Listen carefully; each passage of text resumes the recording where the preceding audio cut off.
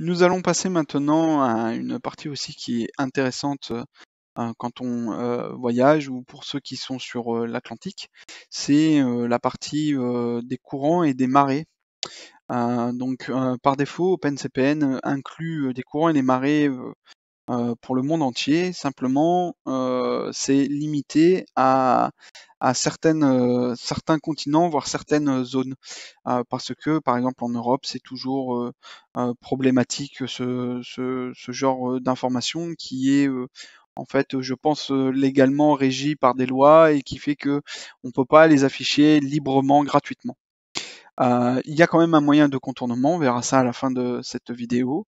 Dans un premier temps, on va se concentrer sur ce qui est déjà présent depuis le début, que vous avez dû apercevoir ces fameuses icônes. Il y en a deux. Il y a les icônes donc de, marée. Donc on voit, ça fait une petite vague. donc ça, c'est les, marées. Donc à tout moment, on peut cliquer sur un icône, à accéder à celui-ci. Vous voyez, dès que je zoome, il change. Hein, et du coup, il vous donne l'information si on est en haute mer, basse mer. Euh, voilà, ça vous donne directement euh, l'état, euh, l'état de la marée. ce sont tous ces symboles-là. pour y accéder, ce, n'est pas via le clic gauche, puisque le clic gauche vous permet d'avoir les informations de la carte marine. Pour avoir accès à l'option des courants et des marées, ça sera avec le clic droit. Voilà. Donc on fait un clic droit dessus et là, une petite fenêtre va apparaître avec justement cette, cette courbe voilà, qui, est très connue, qu'on peut, qu'on peut, qu'on peut regarder et analyser. Alors moi, qui navigue en Méditerranée, je n'ai pas forcément de notion de courant et de marée. cela dit, voilà, j'ai passé, mon examen, mon extension hauturière sur mon permis côtier. Donc, donc voilà, j'ai quelques notions, mais c'est beaucoup trop flou pour pouvoir vraiment vous en parler avec précision là-dessus. ce que je peux en dire et ce que je vois et ce que j'en déduis, c'est que nous avons directement par jour, hein, il fonctionne par jour. voilà, on, on, peut se déplacer aujourd'hui, demain, après-demain, vendredi, dimanche, lundi, mercredi, etc. Ensuite, en haut, on a les états de, de la marée quand on sera en haute mer ou basse mer. Voilà, tout est noté et bien sûr ici la profondeur à laquelle on aura, enfin la profondeur, la hauteur, la, la, hauteur de, de la marée. attention, il y a certains pays où c'est par défaut, c'est pas en, c'est pas en mètres. Hein. je crois que les États-Unis, je me suis fait, enfin je me suis fait avoir. J'ai regardé une fois et voilà, ça en pied, vous voyez, c'est fit. Donc du coup, attention, là, c'est voilà, j'étais côté Canada, c'est euh, c'est en mètres, mais euh, ici on voit bien c'est en feet, donc c'est en pied, c'est une autre unité de mesure, euh, voilà. Mais après l'info reste la même, on, voit bien les infos, voilà, on peut on peut on peut, checker ça, il n'y a, a, aucun problème. ensuite, il y a un deuxième icône les icônes orange. Donc euh, là, ben là, je suis du côté de Miami et les icônes orange, c'est tout simplement la direction et la force du courant. Donc regardez, on a euh, donc ben, voilà, c'est le, Il, y a, beaucoup d'avant euh, de, données, donc il faut l'avoir ici, voilà. Donc c'est 0,4, on a juste à cliquer dessus, pareil, un clic droit. Et là, au lieu que ça soit marée, vous voyez, c'est la fenêtre courant qu'on affiche.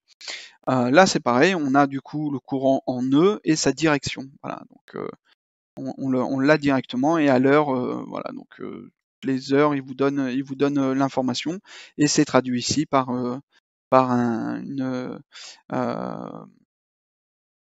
une échelle visuelle. Et pareil, on peut monter, descendre, on peut aller voir dans le temps ce que ça donne.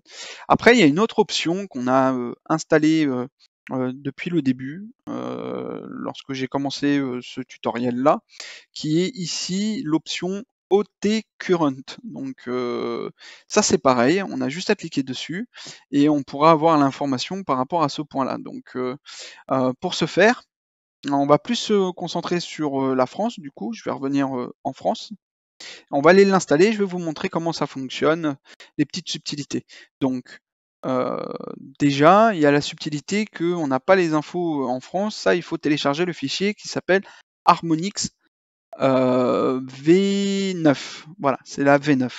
Donc moi je l'ai téléchargé et je l'ai euh, posé euh, directement euh, à la racine de mon, de mon ordinateur. Donc je vais dans Options sous OpenCPN, Carte. Là j'ai l'onglet Marais courant. Et là, je vais ajouter donc euh, cette version. Donc, vous voyez, je l'ai, voilà, j'ai créé un répertoire Harmonix, Harmonix Europe. Bon, il y a, y a, j'ai importé directement Europe parce qu'il y a d'autres sous, sous-fichiers. Hein. Il ne faut pas que ce fichier. Mais euh, d'ailleurs, je vais vous le montrer. Il vous faut euh, Harmonix Europe. Voilà, c'est ces trois fichiers-là. Voilà. Donc, du coup, je récupère ce fichier IDX, j'applique et je fais OK. Et là, du coup, je débloque une bonne partie du monde. Hein. J'ai toute l'Amérique du Sud, l'Afrique, euh, bon, la Méditerranée, mais c'est surtout l'Atlantique euh, Ouest. Hein. Toute, la, partie Atlantique Ouest, je l'ai maintenant. Donc là, je vais me concentrer sur, euh, sur la pointe du côté de Brest, là-bas, la, pointe des Bretons. Et là, par exemple, je vais aller sur celle-ci. Voilà, on voit bien, on, voit bien la les données. Donc à partir de là, on voit à droite euh, la marée. Donc là, il est 9h, euh, il est 9h. Il est 15h, on est le, 9 décembre. ben voilà, on est en train d'être là, c'est plus en basse en basse mer. Hein, la, mer est en train de descendre, la marée est en train de descendre, pardon. Voilà, on a les infos dans la journée, on peut on peut circuler. Et bien sûr, on a toujours le courant maintenant qui s'affiche avec la direction du courant. Euh, cela dit, la source de données, on voit bien, c'est Harmonix Europe. Voilà, c'est pour ça qu'il faut bien la renommer, Harmonix Europe. En fait, dans euh, OT Current, là, le petit module qu'il y a sur la gauche, on peut aller chercher ce fichier aussi. Hein, il suffit d'aller chercher ce dossier, voilà, hop. Et de là, du coup, on va pouvoir avancer dans le temps et bah, connaître un peu l'état de la mer euh, dans les, dans les, euh, dans les heures qui arrivent. Voilà, c'est plus visuel. Hein.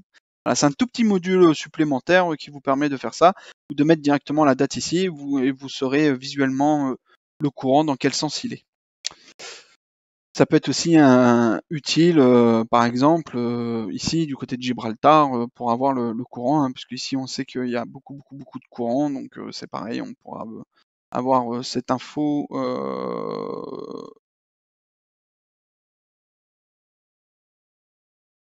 Voilà, paf. Allez, on va laisser comme ça.